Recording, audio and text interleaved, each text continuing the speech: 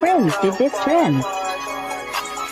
Who is the shyest? pen or a pencil. No, I don't. Who is the oldest? Uzi.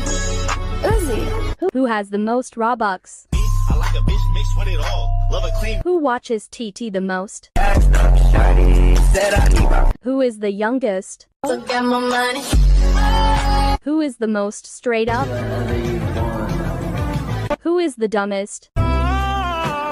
Who acts sus?